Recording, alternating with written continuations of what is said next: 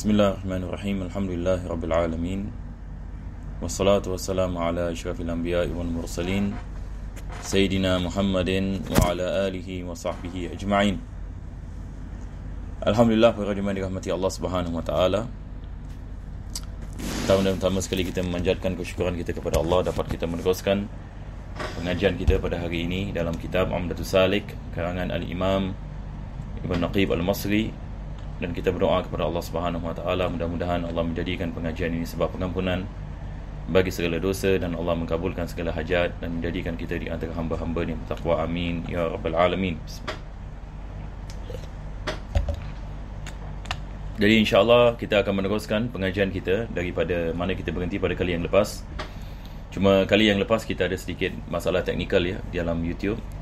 Kalau jemaah yang ini mau mengikuti pengajian yang lepas, uh, boleh yang ikuti audio recording ni dalam speaker account saya.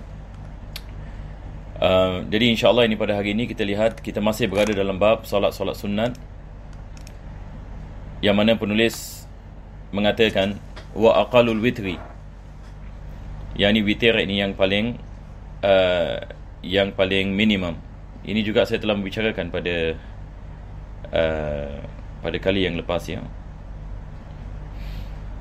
Jadi kita telah ni kita telah sampai ini kepada apa penulis ini mengatakan uh, wal wal afdal wal afdalu taqdimuhu qayba sun, uh, sunnatil isya. Yani yang paling afdal ini penulis ini mengatakan uh, berkenaan ini dengan uh,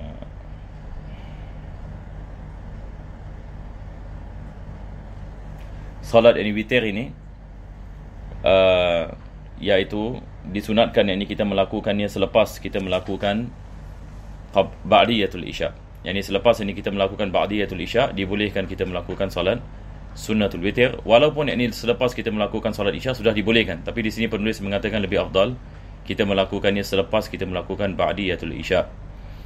Illa an yakuna lahu tahajjud melainkan kalau dia mahu bangun malam ini dia mahu solat malam fal afdal ta'khiruhu liyutira ba'dahu yang ini lebih afdal adalah dia melambatkan solat witirnya dan dia melakukan solat witir selepas itu. Yang ini selepas yang ini dia bangun malam.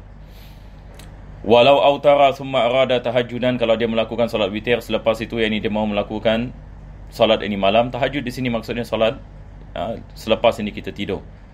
Maka disunatkan baginya salat masna masna wala yu'iduhu.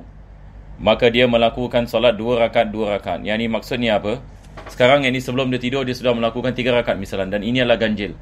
Dan selepas itu ini dia bangun malam. Maka disunatkan dia melakukan dua rakaat dua rakaat yang genap. Supaya genap ini kita campur dengan ganjil dia akan menjadi dia akan menjadi ganjil. Maka disunatkan bagi solat witir kita mengakhiri ini dengan angka yang ganjil. Kalau sekiranya kita sudah melakukan angka yang ganjil ini sebelum ini kita tidur, maka kita melakukan angka yang genap apabila kita bangun daripada tidur untuk melakukan salat malam. Wala yahtaju ila naqdihi bi raka'atin qabla tahajjud. Dan tidak dia uh, berhajatkan yang ini untuk menutupnya dengan satu rakaat. Tidak berhadi dia dia dia memerlukan untuk menutup dengan satu rakaat sebelum dia melakukan ini salat tahajud yang ini solat-solat yang lain seperti solat sunat hajat ataupun solat sunat istikharah dan sebagainya. Maka tidak perlu dia menutupnya dengan satu rakaat baru dia melakukan solat malam. Maksudnya dia melakukan solat malam dahulu baru dia menutup ini dengan dengan yakni dengan angka. Angka yang ini yang yang ganjil. Kalau sekiranya dia sudah melakukan solat uh, witir angka yang ganjil sebelum dia tidur seperti mana kita mengatakan maka dia menutupnya ini dengan angka yang ini yang genap. Wa yundabu an la yata'ammad ba'dahu salah. Dan disunatkan baginya untuk tidak melakukan apa-apa solat ini selepas ini solat witir iaitu setelah ini dia menutupnya dengan angka yang dengan angka yang ganjil. Jadi apa saja solat yang dia mahu melakukan maka dia melakukan ini sebelum ini dia menutup ini solat malamnya dengan solat malamnya dengan solat witir. Jadi ini adalah sunnahnya yang kita menutup ini solat malam kita dengan angka yang ganjil daripada solat witir. Selepas itu ini penulis ini mengatakan at-tarawih au qiyam Ramadan.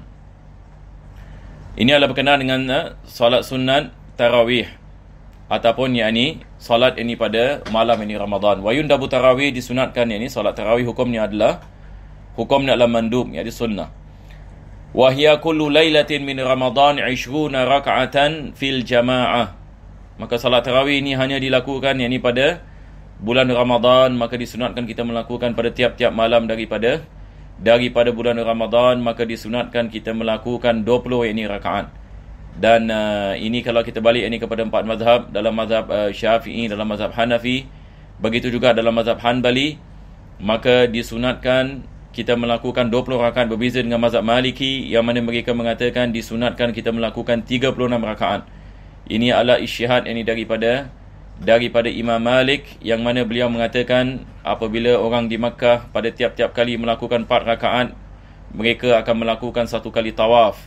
Maka dia berada di Madinah maka dia mengatakan di Madinah kita tidak ada tawaf maka kita menggantikannya dengan kita menggantikannya dengan salat jadi pada pada tiap uh, pada tiap uh, 4 rakaat maka mereka menggantikan dengan dengan 4 rakaat. Maka kita dapat 36 36 rakaat. Dan ini dikatakan yang ini orang yang ini yang pertama yang melakukan salat ini 20 rakaat adalah Sayyidina Umar Khattab radhiyallahu an. Dan ini seperti mana disebutkan dalam riwayat Bukhari apabila beliau ditanyakan kenapa yang ini kamu melakukan 20 rakaat maka beliau mengatakan ni'matul bid'ah. Dia mengatakan ini adalah sebaik-baik bid'ah yang ini perkara yang ini yang uh, yakni perkara yakni yang baru yakni yang di yang diamalkan. Ini berdasarkan dengan isyihad ini daripada daripada Sayyidina Umar Khattab ini sebab ini beliau melihat pada zaman Nabi SAW ada sebabnya Nabi tidak meneruskan solatnya.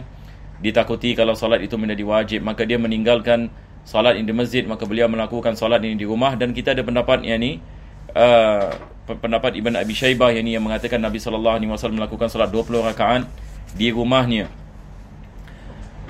Maka di sini kita lihat uh, Sayyidina Al-Khattab uh, pada zamannya maka dia mengumpulkan sahabat-sahabat yang lain melakukan solat ini belakangnya berbeza dengan pada zaman Sayyidina Bakar radhiyallahu an. Pada zaman Sayyidina Al-Khattab ini dia mengumpulkan sahabat-sahabat maka tidak ada satu pun yang yang mengingkari. Maka perkara ini diamalkan oleh golongan tabi'in dan tabi' tabi'in sampai yang hari ini di Makkah dan Madinah maka mereka mengamalkan ini 20 mereka mengamalkan 20 rakaat. Maka ini lebih afdal daripada mengamalkan 8 rakaat. 20 rakaat yang ini mengambil yang ini banyak lebih banyak yang ini pahala. Dan ini juga ulama kita mengatakan ijma' sukuti. Ini adalah ijma' 20 rakaat. Bagaimana ini ijma' sebab ijma' ini kita ada apa yang dikenali sebagai ijma' sukuti. Uh, Sayyidina Al-Khattab apabila dia melakukan solat 20 rakaat tidak ada sahabat yang yang mengingkari jadi tidak mengingkari ini ini yang dimaksudkan dengan sukut. Yang ini semua yang ini menerimanya. Dan pada zaman Sayyidina Khattab ini ada sahabat-sahabat yang besar seperti Sayyidina Ali bin Abi Talib, Sayyidina Uthman bin Affan radhiyallahu an. Dan mereka ini kalau apa-apa yang diperkara mungkar kalau berlaku mereka akan mengingkarinya. Tetapi mereka berdiam dan tidak mengingkarinya maka ini adalah diterima dan dikenali yakni sebagai al-ijma' di kalangan para sahabat Nabi sallallahu alaihi wasallam maka digalakkan ini kita melakukan kita melakukan ini 20 rakaat. Dan dibolehkan kita melakukan lebih ini daripada 20 rakaat kalau sekiranya seseorang itu mahu ini melakukannya. Sebab ini hukum ini solat tarawih sama seperti solat nafil mutlak. Maka dibolehkan seseorang itu menambah ini semua ini balik ini kepada kemampuan. Maka 20 rakaat ini kita mengatakan yang minimum untuk kita mendapatkan asal yakni kesunahan ini dalam dalam melakukan solat ini tarawih Selepas itu ini beliau mengatakan uh, wa yusallim min kulli raka'atain disunatkan kita melakukan salam setelah ini tiap-tiap dua rakaat. Falau salla arba'an bi taslimatin lam yasih. Kalau sekiranya satu orang itu dia melakukan solat tarawih empat rakaat dengan satu salam tidak sah salatnya. Ini pun kadang-kadang mungkin ada jemaah yang ini di rumah melakukan ini, maka ini tidak sah. Sebab ini kita tidak ada riwayat yang ini yang mana Nabi sallallahu alaihi wasallam ini melakukannya dengan dengan yang ini empat rakaat. Maka tidak dibolehkan kita melakukan empat rakaat hanya dibolehkan kita melakukan dua rakaat dua rakaat. Wa yutiru ba'daha jama'atan. Dan disunatkan kita melakukan salat witir pada bulan Ramadan dengan jamaah. Maka salat witir disunatkan kita melakukannya dengan dengan jamaah. Ini yang kita melakukan di masjid-masjid kita. Illa liman liman yashtahidu ya, liman yatahaj Ya, yatahajjadu fayuakhiruhu. Kecuali bagi mereka yakni yang mahu melakukan solat tahajud yakni pada waktu malam maka disunatkan yakni baginya dibolehkan baginya untuk dia melambatkan yakni melakukan solat witir sehingga akhir malam. Wa yaqnutu fil akhirati fi nisfil akhiri bi kunuti subhi. Dan disunatkan kita membaca doa kunut pada bahagian yang kedua yang bulan Ramadan yang apabila masuk ini malam ke-16 maka disunatkan kita membaca doa kunut seperti mana kita baca dalam solat subuh pada rakaat yang yang terakhir daripada solat daripada solat witir ini adalah daripada sunnah Summa yazid dan dis, di, disunatkan baginya untuk menambah Allahumma inna nasta'inuka wa nastahdik. Ini adalah daripada kunut Sayyidina Al-Khattab radhiyallahu an. Kita boleh lihat dalam kitab-kitab uh, doa uh, yakni tambahan ini bagi bagi kunut uh, bagi kunut ini kunut subuh. Wa waqtul witri wa tarawih ma baina salatil isya wa tulu'il fajri dan masa untuk kita melakukan solat witir dan solat tarawih apa-apa di antara selepas melakukan solat isyak dan sebelum terbitnya fajar. Jadi ini adalah masa boleh kita melakukan solat uh, tarawih dan juga solat witir. Kalau sekiranya seseorang itu menjamak takdim misalnya maghrib dengan isyak, jamak takdim dan dia melakukan solat isyak pada waktu maghrib, adakah dibolehkan dia melakukan solat tarawih ataupun solat witir selepasnya? Dibolehkan walaupun dia berada dalam waktu maghrib. Sebab di sini kita mengatakan dia telah melakukan solat isyak. Dia telah yang ini melakukan dia telah melakukan solat isya itu sebab ini penulis mengatakan ma baina salatil isya bukan waktu isya tapi dia mengatakan di antara melakukan solat isya dan tulu'ul fajr. Bukan ini salatul fajr tetapi dia ada terbit ini fajar yakni apabila masuk ini waktu fajar sudah tidak dibolehkan kita melakukan solat witir ataupun solat tarawih kalau kita melakukan maka ia dikenai dianggapi sebagai qadaan uh, wa yundabu an yusalli ad-duha. Sekarang ini penulis ini mengatakan solat ini sunat duha. Disunatkan ini kita melakukan solat sunat duha wa aqalluha raka'atan. Minimum ini dua rakaat. Solat duha ini minimum dua rakaat. Dan yang sempurna yang ini beliau mengatakan saman ini 8 rakaat wa aktsaruha yang paling banyak boleh dilakukan adalah isna asyara yakni 12 rakaat wa yusallim min kulli raka'atain yang mana disunatkan dia melakukan salam daripada dua rakaat. Dua rakaat, dua rakaat ini salam. Wa waqtuha min irtifa'i syams ila zawal. Yang ini ramai orang di jemaah menanyakan bila masuk ini waktu duha, bila masuk ini waktu duha. Maka ini jawapannya, yakni masuknya yang ini waktu duha selepas terbitnya matahari dan apabila masuknya uh, 16 minit ini selepas ini waktu syuruk sebab bila matahari ter, matahari terbit kita ada waktu haram tidak dibolehkan kita melakukan salat pada waktu ini dan dia adalah sekira lebih kurang 16 minit. Jadi kalau sekiranya uh, waktu ter, uh, matahari terbit pukul 7 pagi maka 7.17 kita sudah boleh melakukan salat duha. Jadi di antaranya ada 16 minit. Ini berdasarkan dengan hadis Nabi sallallahu alaihi wasallam yang mana Nabi uh, menyifatkan qadra rumhin apabila matahari naik qadar rumh yakni kadar yakni satu uh, tombak. Yang ulama kita mengatakan dimasukkan kadar satu tombak maksudnya empat darajah dan satu darajat adalah uh, empat minit dan empat kita kali empat kita dapat 16 minit. Itu daripada, daripada situ ini ulama kita mendapatkan 16 minit dan ini seperti mana disebutkan oleh Mufti Terim yang lalu uh, Habib Abdul Rahman Al-Mashhur dalam kitabnya Buriyatul Mustasyidin yang mana ulama-ulama kita yang ini di Hadramut dan luar Hadramut ini berpegang ini kepada fatwa ini. Uh, jadi ini adalah maksudnya ini waktu waktu duha dan sehingga waktu zawal yang dimaksudkan dengan waktu zawal adalah apabila tergelincirnya matahari yang mana maksudnya di sini adalah waktu zuhur. Jadi apabila yang dimaksud ini waktu zuhur, solat zuhur. Waktu zuhur ya, waktu bagi kita melakukan solat zuhur maka dah habis dah waktu ini kita melakukan solat solat yang ini duha. Selepas itu ini penulis ini mengatakan qada'un nawafil. Yakni melakukan qada ini bagi solat sunnah. Wa kullu naflin muaqqat kal'idi wad duha wal witri wa rawatibil fara'id idza fata nudiba qada'uhu abada yakni di sini penulis ini mengatakan tiap-tiap solat sunat yang berkait dengan masa. Jadi ini perkara yang sangat penting ya kita kena faham. Sebab solat sunat ini kita ada tiga jenis. Pertama sekali solat sunat yang berkait dengan masa. Solat uh, yang kedua kita ada solat sunat yang tidak berkait dengan masa. Dan yang ketiga kita ada solat sunat yang tidak ada sebab. Solat sunat ini yang tidak ada sebab itu dikenali sebagai nafil mutlak. Jadi solat sunat ini yang berkait dengan masa seperti apa dia mengatakan kal'idi wadduha wal witri seperti solat hari raya misalnya. Solat duha, solat witir, solat rawatib. Ini semua berkait dengan masa. Ada masa yang tertentu baginya. Berbeza dengan solat hajat misalnya solat uh, istikharah tidak ada masa yang ini yang yang berkait ini dengannya. Jadi di sini dia mengatakan kalau sekiranya solat sunat itu uh, berkait kepada masa maka disunatkan kita melakukan qada kalau sekiranya kita tidak melakukannya. Dan kita boleh melakukan qada yang ini pada bila-bila. Abadan ini dia mengatakan. Jadi satu orang ini dia nak melakukan qada bagi solat duha bagi tahun-tahun yang lepas ini dibolehkan disunatkan ini dia melakukan. Dia melakukan sedemikian. Wa in fa'ala li'aridin kal kusufi wal istisqa wa tahiyyati wal istikhara lam yaqdi.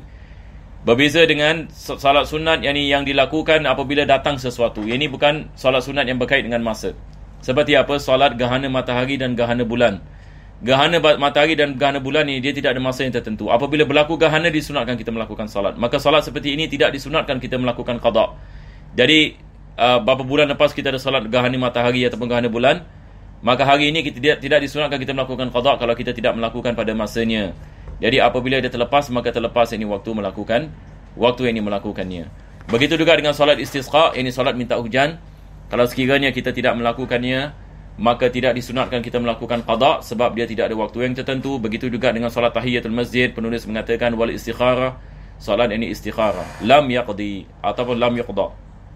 Yani tidak yani di uh, tidak ini di dilakukan qada ini bagi solat-solat sedemikian. Sebab ini dia tidak ada berkait dengan dengan masa.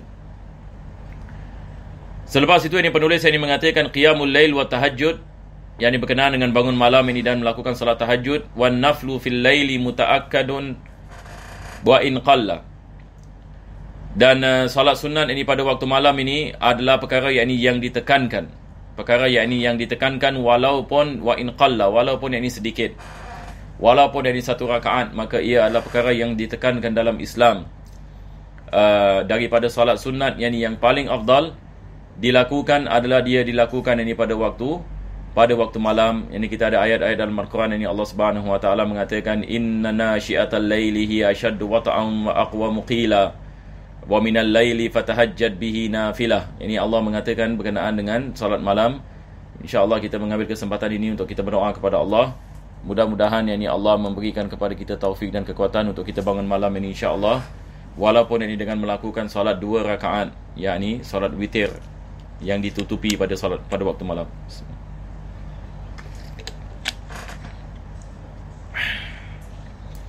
Maka beliau mengatakan wan naflul mutlaq fil laili afdalu minal mutlaq minan nahar. Salat uh, nafil mutlak pada waktu malam lebih afdal daripada melakukan salat nafil mutlak ini pada waktu siang. Yang malam ini dia ada uh, kelebihannya yang ini yang tertentu kita ada hadis Nabi SAW yang dikenali sebagai hadis nuzul yang mana Allah Subhanahu Wa Taala mengkabulkan hajat mereka-mereka yang ini yang berdoa kepada Allah pada akhir malam ini sebelum ini masuk ni waktu subuh yang mana yang ini Allah Subhanahu Wa Taala memerintahkan ini malaikat ini untuk uh, menanya siapa di antara kamu mahu keampunan maka Allah ini bersedia untuk mengampunkan kamu siapa di antara kamu yang ada hajat maka hendaklah kamu mengatakan hajat-hajat kamu Maka hadis-hadis ini seperti ini menunjukkan akan kelebihan ini melakukan solat pada waktu malam. Jadi pahalanya juga yang ini berbeza. Orang yang melakukan solat pada waktu malam, pahala lebih daripada melakukan solat ini yang sama pada waktu pada waktu siang ini seperti melakukan solat nafil. Nafil yang ini mutlak. Wa afdalu as-sudus dan yang yang paling afdal ini penulis ini mengatakan yakni seperenam ini seperenam ini daripada malam.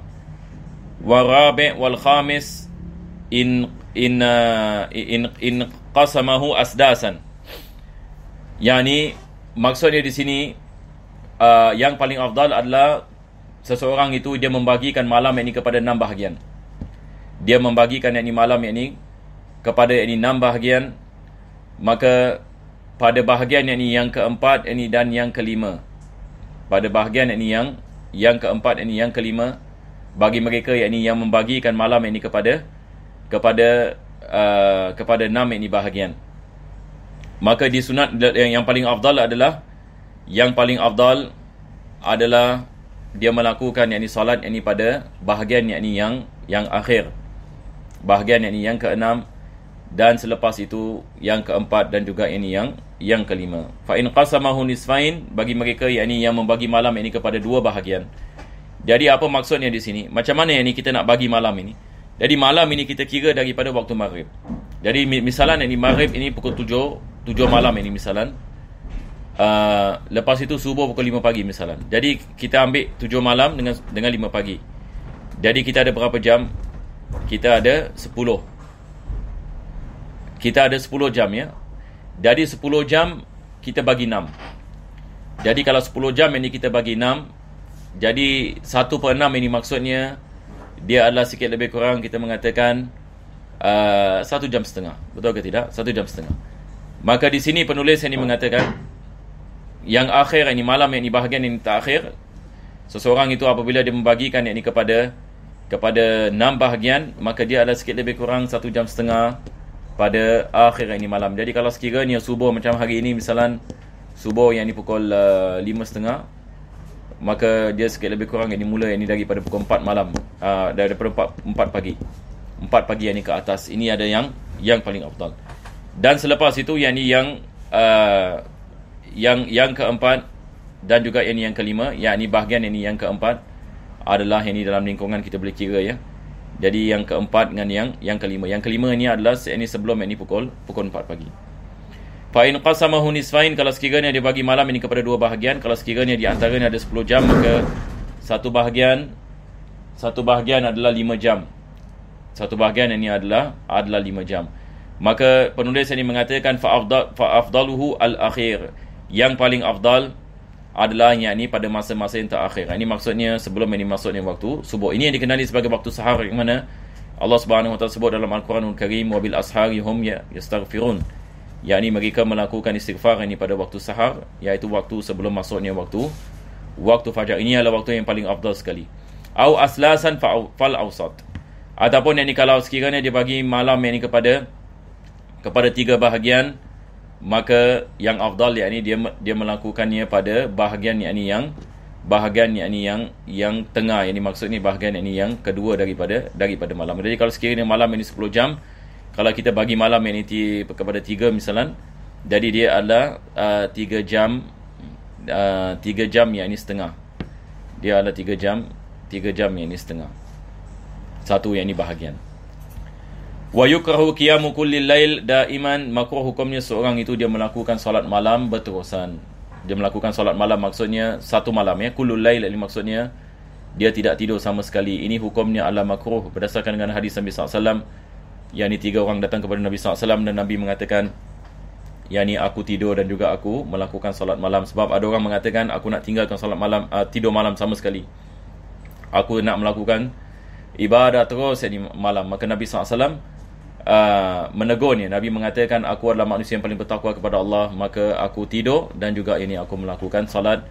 Barang siapa yang tidak mahu ini sunnahku maka dia bukan daripada aku man raghiba an sunnati falaysa minni. Ini hadis yang masyhur. Al-Imam Nawawi juga menyebutnya dalam dalam kitab Riyadhus Salihin ini dalam bab uh, dalam bab al-wasatiyah fil ibadah kalau tidak salah saya. Yani ada satu bab ini yang mana beliau menukilkan hadis-hadis ini berkenaan dengan kesederhanaan ini dalam dalam ibadah maka daripadanya adalah beliau menukilkan hadis dari tiga orang ini yang datang kepada Nabi SAW yang pertama mengatakan aku tak akan kahwin. Aku nak terus ibadat tak mau kahwin. Yang kedua mengatakan aku akan terus puasa tak nak berbuka daripada puasa. Ini tiap-tiap hari nak puasa. Yang ketiga mengatakan aku tidak mau tidur. Ini nak terus ini ibadah tiap-tiap hari.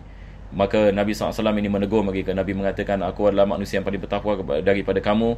Aku berkahwin dengan wanita dan aku uh, kadang-kala puasa kadang-kala uh, tidak melakukan puasa. Yang ketiga Nabi mengatakan dan aku pada waktu malam ini tidur sebahagian daripada malam dan bangun daripada sebahagian daripada daripada malam. Maka Nabi sallallahu alaihi wasallam mengajarkan kepada kita perkara-perkara seperti ini sebab ini beliau mengetahui kita ini tidak ada kemampuan untuk melakukan sedemikian dan dia dapat mem- boleh memberi kemudarat ini kepada kita dan ditakuti kalau mudarat itu datang nanti kita kita marah kepada Allah pula. Betul ke tidak? Kalau iman ini seorang itu lemah Maka nanti lain pula yang jadi. Kalau dia paksa ini dirinya sehingga Dia tidak uh, Sehingga ini dia rasa macam bosan Ataupun jemu Ditakuti dia tinggalkan segala-galanya. Jadi dalam ibadah ini ulama kita mengajarkan kepada kita Sentiasa kita mula dengan sesuatu yang kita mampu Tapi kita dapat melakukannya dengan berterusan. Jangan kita buat ini terlalu terlalu banyak yang kita tak kita kita tidak mampu sebab biasanya kita akan meninggalkannya selepas beberapa ketika. Jadi apa yang yang afdal adalah kita berterusan dalam amal walaupun amalan tersebut adalah amalan yang yang yang sedikit. Akan tetapi insya-Allah masa demi masa kita menambahkan sedikit sedikit sedikit. Itu adalah daripada cara hikmah yang ini. Ini kita membicarakan tentang hikmah dalam di dalam ini ibadah. Mudah-mudahan Allah berikan kepada kita taufik dan hidayah. Sallallahu ala sayyidina Muhammadin wa ala alihi wasallam alhamdulillah rabbil alamin